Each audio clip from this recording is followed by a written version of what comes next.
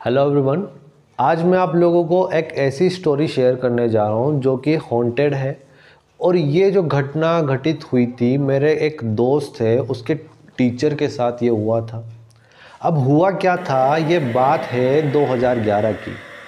अब उस टाइम क्या है कि जो ये टीचर थे, ये अपने कोटाए हुए थे क्योंकि ये एक टीचिंग के लिए सेलेक्ट हो चुके थे।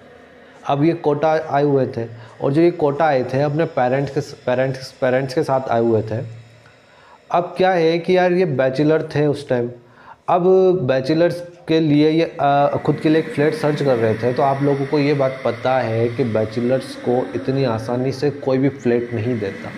और वो रीज़न्स क्या हैं, वो आप सबको पता है।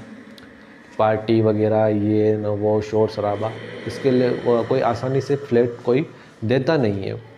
तो वो उन्होंने कई फ्लैट्स वगैरह सर्च किए, लेकिन उनको मिला नहीं।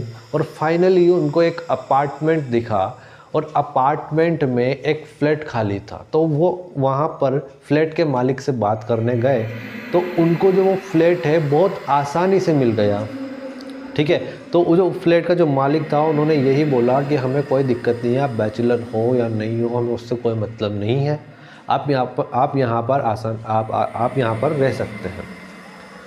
तो आसानी से वो फ्लैट उनको मिल गया और वो थोड़ा अपना सामान वगैरह रखा और वो सेट हो गए वहाँ पर।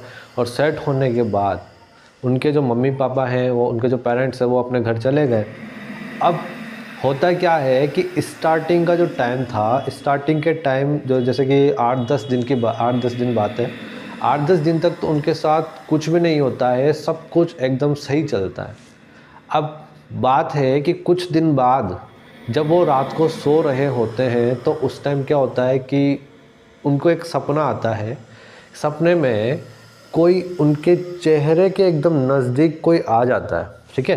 ये चेहरे के एकदम नज़दीक आ जाता है और और चेहरे के नज़दीक आकर के एकदम ऐसा लगता है जैसे कि यार कोई बिल्कुल नज़दीक आ गया और उस, उनके जो चेहरे पर ऐसे हाथ फेर रहा है, ठीक है? अब जैसे यार, अब देखो अब क्या होता है कि जैसे उनको लगता है कि उनके चेहरे पर कोई हाथ फेरा है तो वो एकदम से सडनली जग जाते हैं, ठीक है? तो ये जो जगह थे, ये है एक शोक शोक वाला जगना मतलब एकदम से शोक हुआ और ये जग गए। और एक नॉर्मल वाला जगना होता है कि ठीक है, वो अपन जग गए, पानी पिया वॉशरूम वॉशरूम गए और वॉशरूम से आकर के वापस सो गए। वो नॉर्मल जगना, उसमें दोबारा आपको नींद आ जाती है। बट जैसे आपको शौक लगता है तो शौक लगने के बाद आप जब जगते हो तो दोबारा नींद नहीं आती है। तो उस टाइम क्या था कि जब उन्होंने देखा यार चलो ठीक है नींद तो आ नहीं रही है सुबह हो सकता है कि थोड़ी देर बाद सुबह हो जाएगी। अब देखते हैं थोड़ी देर बाद सुबह हो जाएगी तो उन्होंने जब टाइम देखा तो टाइम हो रहा था रात के दो बज रहे थे। अब जब रात के दो बज रहे थे तो यार उन्होंने सोचा चलो ठीक है कोई दिक्कत नहीं है। आ, आ, कल की जो मेरी क्लासेस हैं क्ला जो क्लासेस होंगी उसके लिए मैं प्रिपरेशन कर लेता हूँ। तो वो अपना स्टडी जो टेबल है स्टडी टेबल पे जा कर के हमने कुर्सी पे जा कर के बैठ जाते हैं और जो उनकी स्टडी टेबल थी वो उस साइड थी और सामने एक गेट हुआ करता, एक गेट था। और गेट वो क्या है कि जब वो सोते थे तो गेट खोल के सोते थे मतलब रूम का गेट खोल के सोते थे। बाहर का तो यार ऑब्वियस बात है, सब गेट लगाएँगे लॉक करेंगे। जो रूम का गेट था, उनके फ्लैट में जो एक रूम था, वो गेट खोल के सोया करते थे। और इस साइड उनकी स्टडी टेबल रखा करती रखा रखी हुई कर, रखी हुई रहती थी। तब क्या हो कि उन्होंने सोचा कि यार नेक्स्ट क्लास के लिए हम प्रिपरेशन कर लेते हैं तो वहाँ पे जाके बैठते हैं। तो यार एकदम जो आप स्टडी टेबल लगाते हो दीवार से ऐसे सट के लगाते हो ना जैसे कि मान लो ये ये दीवार है मेरी स्टडी टेबल ये और मैं ऐसे ही तो बैठूँगा ऐसे ही तो पढ़ाई करूँगा। ठीक है तो ऐसा था। अब होता क्या है कि उनको ऐसा फील होता है कि पीछे से उनको कोई देख रहा है। पीछे से उनको कोई देख रहा है। जब यार हम लोगों को ऐसा फील होता है तो हम देखते हैं ना कि यार ऐसा क्या है। तो जैसे उनको ऐसा फील हुआ, पीछे से उनको कोई देख रहा है तो उन्होंने देखा पीछे मुड़ करके। ऐसे। पर कोई नहीं था। उस टाइम कोई नहीं था। तो वो थोड़ा डर से गए थे। अब डर से गए थे तो अब दूसरे ही दिन अब दूसरे दिन क्या है कि अपने क्लास वगैरह करके वो शाम को वापस घर पे आते हैं और रात के समथिंग आठ या साढ़े आठ बज रहे थे, रात के, है ना? तो उनके अपार्टमेंट के जस्ट सामने या फिर साइड में एक दुकान हुआ करती थी, जो उस दुकान से वो सामान लिया करते थे वो सर। तो उस दुकान वाले भैया से उनकी जान पर जान पहचान थोड़ी अच्छी हो गई थी, क्योंकि काफ़ी टाइम हो गया था, दस पंद्रह दिन हो गए थे तो उनकी जान पहचान काफ़ी अच्छी हो गई थी। और जब जान पहचान अच्छी हो गई थी तो उन्होंने, सर ने जब उस दुकान वाले से बात करी तो ये बोला कि, यार भैया, पहले जब मैं कोटा में जब जेई की प्रिपरेशन करने आया था, तब तो मेरा मन बहुत अच्छे से लगता था बट अभी मेरा मन अच्छा नहीं लग रहा मतलब मेरा मन ही नहीं लग रहा है मेरा कोटा के अंदर। तो उन्होंने फिर वो भैया ने पूछा कि आप रहते कहाँ पर हैं? ठीक है नॉर्मल पूछ लेता है आदमी। तो सर ने बोला कि मैं इस वाले अपार्टमेंट में ही रूम नंबर जो फ्लैट नंबर है टू ज़ीरो वन उसमें रहता हूँ। Flat number two zero one में मैं रहता हूँ। तो ठीक है तो सामने वाले भैया ने बोला कि आप वहाँ रहते हो, आपको फ्लैट के बारे में कुछ पता नहीं है क्या? अब जब यार सामने वाला बंदा ही बोले कि आपको इसके बारे में कुछ पता नहीं है तो अपने अंदर से कुछ ऐसा होता है ना कि यार, ठीक है, ऐसी क्या बात है जो हमको नहीं पता। आप हमको बताओ, आप हमको बताओ। तो भैया ने सर ने कहा कि ऐसा हमको, मुझे कुछ ऐसी कुछ बात नहीं पता।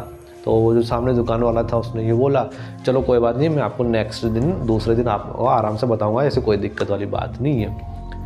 तो पर अब रहता है यार अंदर से कि ठीक है मुझे वो बात जाननी है जाननी है जाननी तो सर ने थोड़ा उनको फोर्स किया और उस बंदे ने बात बता दी। दुकान वाले भैया ने ये बोला कि आप जब रहते थे तो इसके पहले ये फ्लैट खाली था और उसके पहले भी यहाँ पर एक लेडी और उनकी उसकी एक लड़की यहाँ पर रहा करती थी और वो लड़की जो थी अपनी कंपटीशन एग्ज़ाम की प्रिपरेशन करने के लिए यहाँ आई हुई थी और यहाँ रहती थी। तो ये आ, उस टाइम क्या है कि ड्यू टू मेंटल स्ट्रेस वगैरह कुछ भी होता है ना तो उसने वहाँ पर सुसाइड कर लिया था। बस ये बात। और तो ये बात सुनते ही अचंबा, उनको शौक हुआ यार। तो वो बहुत ज़्यादा पैनिक कर गए थे। तो उन्होंने अपने लैंडलॉर्ड को मतलब जो उनका फ्लैट का मालिक था, उनको कॉल किया कि आपने मुझे ऐसा क्यों नहीं बताया कि मतलब जो ये बात मुझे पता चली कि सच है। पहले तो ये पूछा। तो सामने वाले ने झूठ नहीं बोला। उसने भी सच बोल दिया कि हाँ ये बात सच है। लेकिन अफवाह उड़ाते हैं लोग बाग तो आप टेंशन ना करें। तो फ़ोन काट दिया क्योंकि बहुत ज़्यादा पैनिक हो गए थे तो उन्होंने फ़ोन वगैरह कट कर दिया। अब वहीं पे नीचे जो फ्लैट्स वगैरह हैं वहाँ पे कोई गार्ड वगैरह रहता है तो वो जो गार्ड था 55 टू 60 ईयर मतलब थोड़ा एजड उम्र का था। अब वो जो गार्ड भैया हैं तो गार्ड भैया से, वो जो सर है, गार्ड भैया के पास जाते हैं, क्योंकि यार, अब उनको वापस उसी फ्लैट में जाना था और बज्र रात का रात का टाइम था। जब सामने वाले बंदे ने यूँ बोला कि यहाँ पे पहले किसी ने सुसाइड कमिट सुसाइड किया हुआ है और उनके सपने में कुछ ऐसा होता है या उनको उनके साथ ऐसा इंसिडेंट हुआ तो उनको थोड़ा अजीब सा लगा। तो उन्होंने गार्ड भैया से बोला गार्ड भैया कि आप प्लीज़ मेरे साथ मेरे फ्लैट में चल चलेंगे। तो गार्ड ने बोला, आप क्या वही हो ना जो flat number two zero one में रहते हैं? तो उसने कहा हाँ। तो गार्ड भैया बोलते हैं कि नहीं नहीं सर, आप ऐसा कोई दिक्कत नहीं है, आप ले, चले जाओ, कोई दिक्कत नहीं है। तो पर वो, उनको लग रहा था थोड़ा मतलब अजीब सा डर सा लग रहा था तो उन्होंने बोला कि, नहीं नहीं, आप एक बार चल चलो, कोई, मेरे साथ चल चलो, मैं अपना सामान लेकर वापस आ जाऊँगा। तो सामान लेकर के मतलब जैसे ही वो गार्ड तो जो फ्लैट के अंदर तो गए नहीं, फ्लैट के बाहर खड़ा हो गया। अब नॉर्मली क्या है कि जो वो गार्ड जो अपने जो डंडा है, वो कभी लेके नहीं चलता, लेकिन उस टाइम वो डंडा लेकर के वो सर के साथ फ्लैट तक गया हुआ था। तो अब क्या होता है कि गार्ड तो बाहर खड़ा हो जाता है और वो होता है ना कि मतलब तो एकदम अंदर जाना और फटाफट से जो भी सामान उनके हाथ में लगे, जो काम के सामान है या जो बुक्स वगैरह है फटाफट से उन्होंने बैग के अंदर रखा और वो एक मिनट के अंदर अपना बैग पैक करके वापस आ गए। मतलब कपड़े वगैरह उन्होंने कुछ नहीं रखा है। जैसे जो ज़रूरी सामान होते हैं, जैसे बुक्स वगैरह हो गई, उनके लिए जब वो पढ़ा रहे थे उस टाइम तो बुक्स से ज़्यादा ज़रूरी कोई चीज़ थी नहीं उस टाइम तो उन्होंने बुक्स वगैरह, जो भी काम की थी, फटाफट से बैग में रखी, पैक किया और एक मिनट के अंदर फटाफट से भग करके वापस बाहर आ गए। उन्होंने फ़ोन किया कि और दोस्त वगैरह क्योंकि उस टाइम उनके काफ़ी अच्छे फ्रेंड्स वगैरह भी बन गए थे। तो कि कि जो भी क्या आज मैं तुम्हारे घर पर रहना चाहता हूँ, और जो सीनियर रहेगा मैं तुम्हें वहाँ पर आकर के बताऊँगा कि मेरे साथ क्या क्या हुआ है। तो उनके दोस्त ने बोला, ठीक है, तुम मेरे फ्लैट पर आ जाओ। तो वो उनके फ्लैट पर चले गए और वहाँ सो गए। और दूसरे दिन ही उन्होंने, उनका जो फ्लैट था, जहाँ पर वो two flat number two zero one में रह रहे थे, उन्होंने वो फ्लैट खाली कर दिया था। तो यही एक आ, उनके साथ इंसिडेंट हुआ था और ज़्यादा कुछ है नहीं। Thank you